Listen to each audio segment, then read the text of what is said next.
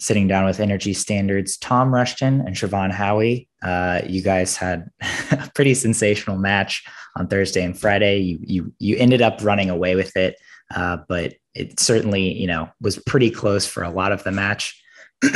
Siobhan, let's start with you. You were one of the key players and one of the ones who scored a lot, a lot of points, especially in in a relatively uh, small amount of events. What did you think of your performances over Thursday and Friday? Uh, I was pretty happy with them. Um, at the beginning of the week, I was a little sick, so I didn't really expect too much from my performance. Um, but I knew it was going to be a very tight match. Um, so I was just trying to do my best. And uh, I think it helps when like the rest of the team is also doing really well and you see someone, they go a best time, they go a season best, and it kind of just like pumps you up and makes you even more excited to race. So yeah, I am happy with how I did. And I think as a team, we're getting better each match. And I think that's very important and will be even better for the finals. What, I mean, you mentioned you were a little sick heading into this week. Um, do you do anything differently to prep? I mean, what what's the goal, I guess, time wise or, or feel wise of where you want to be for a match like this, where you know it's important, but you also know you guys are probably going to finish top two. You guys are, you know, kind of already in that final, so you don't necessarily have to be at your best. Yeah. Um, we heading into this match, we knew we were most likely going to make finals. Um, but our James James Gibson, he always says winning is a dirty habit, and of course we want to win all of our matches because the more you win, the better you feel about yourself and the team. And so we still want to, you know, perform well and deliver um, great performances. And um, I was a little sick and I had to take a day off uh, from training just to feel a little better. Um, and the good thing is like I work really closely with the coaches and they always ask like, how do you feel? Like, what events do you think you can do? Is this racing schedule load too much or what do you think? And so I think you just like I had to monitor how my body's feeling and making sure I um I can perform but also not overdo it so that I will be ready for finals. Um, but yeah, I just like just had to work closely with the coaches and let them know how I'm feeling so that we can adjust things. So, so you you adjust things. You work with the coaches. You get that extra day of rest, and then, um, like you said, it's it's easy to perform, easier to perform when you see your teammates doing well. Ilya breaks a world. You know, you guys are tied with London. uh, heading into the women's 100 breaststroke. I think you probably they they outscored you a little bit. I, I'm guessing in the women's 100 breast, and then Ilya breaks a world record. Sarah swims the 50 fly, jackpots a whole bunch. Um, so I mean, did that just put you on kind of an unexpected level of of energy or a high for you?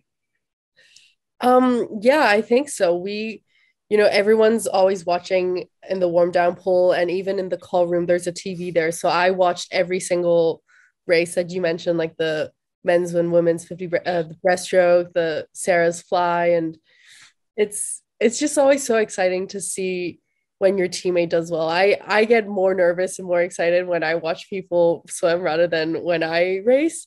Um but yeah i think it's like when you see someone do well it kind of you know it's like a positive to the team. And then the more like positive marks you have on the team the i don't know it's like a it's like a snowball effect. And in a good way and yeah i think watching them swim definitely made me feel like oh yeah like we're getting the ball rolling and it's it's, it's good yeah and and then to have sarah as your teammate and to be i mean maybe to be chasing her world record in that 200 freestyle.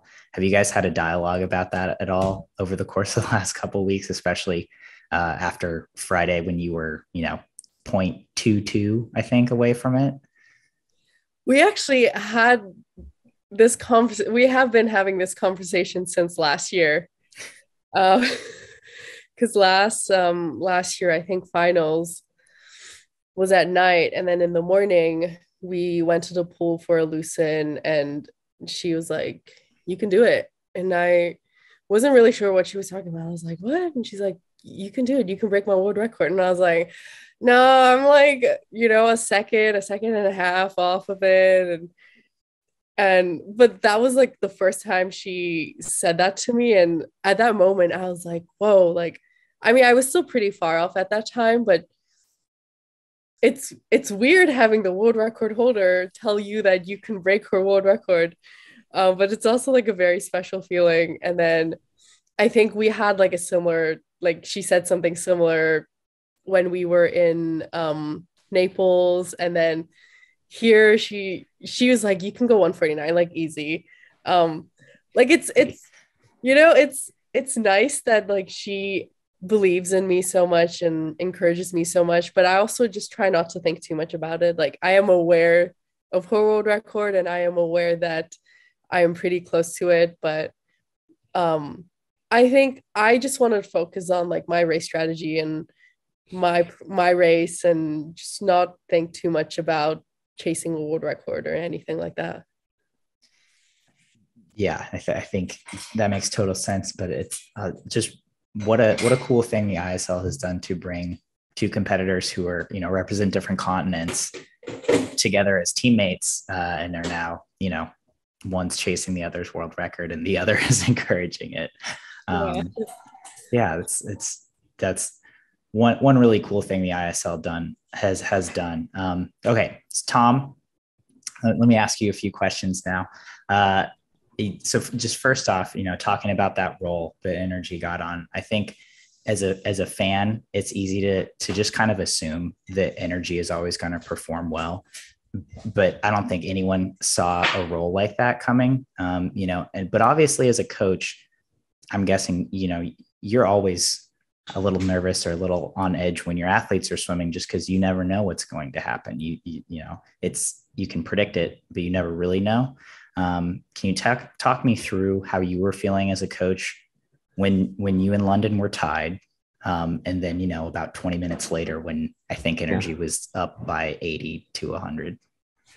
Yeah, I mean we um, as a coaching staff we we try to look at before before each session, each day of each match, we have um, kind of what we predict the points will be after or during each race and, and obviously the total points after each race. So we knew um, we knew that we had a good shot on the second day of the match to to give London a good a good run for their money. Um, and coming in, and it was actually Kliment that won the men's 100 IM that put us tied with London. Um, he had a great battle there with Duncan Scott and just got the touch. And obviously, with the jackpot points, that that put us a little bit, you know, gave us a little bit extra points, and that that's what tied us up. As you said, uh, women's the women's breaststroke, we were we um, it was quite close, but we they did get a little bit of a lead again. Um, but then you know we go into this run in that session of of Ilya in the 50 Ilya and um, Felipe in the 100 breaststroke, you know, one two punch from them, yeah. and then into Sarah's 50 butterfly. And then we have, um, you know, one event and then Siobhan's 200 freestyle. That's pretty devastating, you know, three three uh, event combo there. Um, so we knew that the, those events are good. We knew that uh, the athletes in there, uh, all all of those guys are super consistent. So, you know, like you'd asked about, do we feel you know nervous or anxious or anything? And you know, with athletes that are professional like these guys are, we feel pretty good. I'll admit that um, coming into the first day, especially knowing that Siobhan was sick, I was a little bit concerned with how she would do because um, I knew how sick she had been, and she obviously downplays it. But for her to miss a day of training, you know, she's not feeling very good um, if that's the case. Um, so we were a little bit anxious around how she would do the first day, and she was fine. But even um, as she alluded to, we were also worried about you know payout from those efforts on the second day, um, and how that would how that would treat her. And, and again, she was obviously really still still pretty good. Um, so we're confident in in their ability to perform whenever they whenever they're asked to. Um, but we didn't we did not expect to be that far ahead after that. We, certainly, the athletes just exceeded expectations for sure.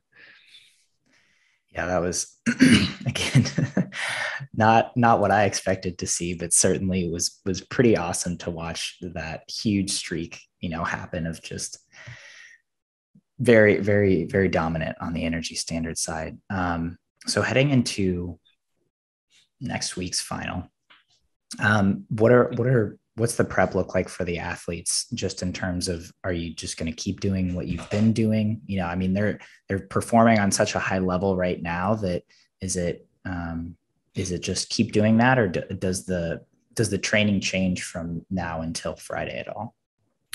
Um not hugely. Obviously if we're you know yeah they're, they're swimming well we don't want to change anything too dramatically. Um, we did start to to come down a little bit last week do a little bit less volume, a little bit less in the intensity. Um, and we'll continue that theme in this upcoming week. But we really only have a few days, so we're not going to make any massive, massive changes. Um, and with all of them, with all the athletes, you know, coming through this stop in Eindhoven, we've been really focused on season's best times. And Siobhan very intelligently just kind of chips hundreds off as so she gets more season's best. It's really smart. You wouldn't want to do huge best time at the start, you know.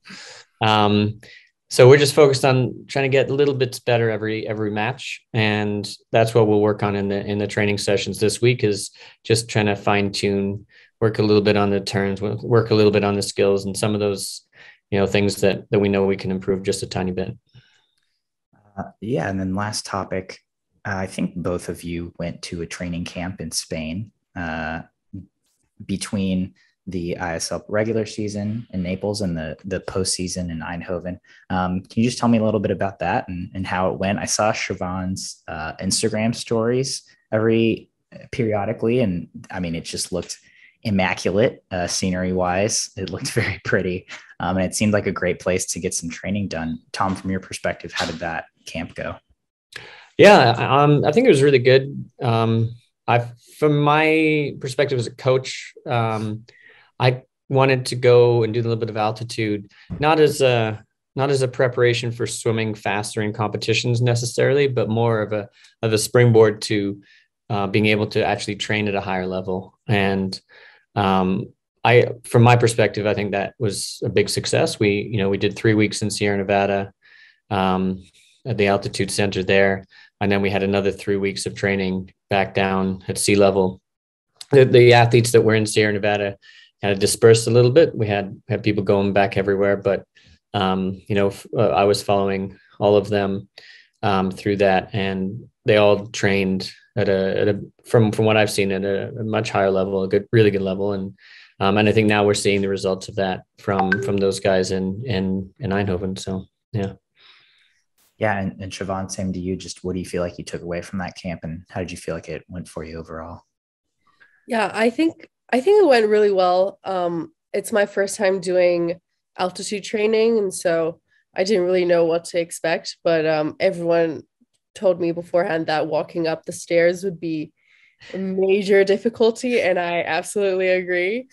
Um, but I am glad I did that because after Tokyo, I didn't really, I felt like I didn't really have a good solid chunk of training block. Um, and so going to Sierra Nevada, I had like three weeks of just like, you know, first week was more like aerobic base, and then week two and week three really built it up. Um, and so I could really work on like things that I need to focus in. Um, and it's just, I think it's just like a, there's not much, there's not really much to do there, and so it's just like your mind, it's I don't know. I just felt like it's a good place to just go there, do your training, you know, sleep, eat, and then go back to train and just there's not much to do. So you're kind of in the routine of doing like the same thing every day. But I think that that helps me to just put in the hard work and um and then when I went back to sea level to train, I uh felt pretty good. Um and yeah, I think like the time between Naples and Eindhoven solid six or seven week of training definitely paid off and I am I'm seeing results right now. So it was it was a fun trip. Yeah.